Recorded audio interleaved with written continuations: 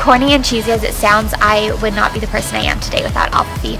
Alpha Phi has given me so much so just so many skills that I've been able to transfer over to my schoolwork and to my classes and work and volunteer experiences and it just I cannot put into words how much um, being in something so big and so incredible um, really means.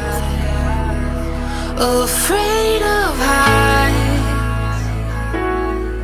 And your dreams were made illegal by the laws of lesser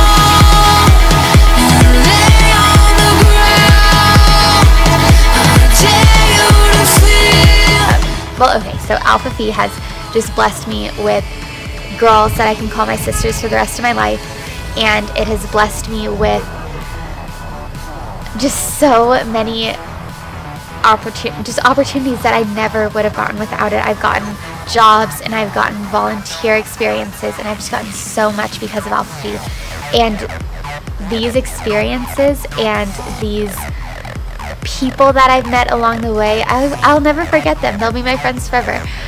And I think that without Alpha Phi, my college experience would have been completely different and probably terrible.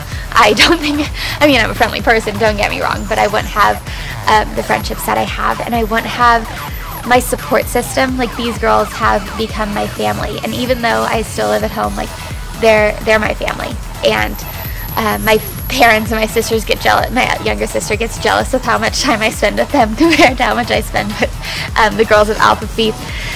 So um, I just, I, I don't know. Alpha Phi just really means the world to me, and it is so hard being a senior and knowing that I'm gonna have to, you know, branch out and leave, and I just can't imagine my life without it. And luckily, I'll never have to imagine my life without it but um, leaving here will be really hard.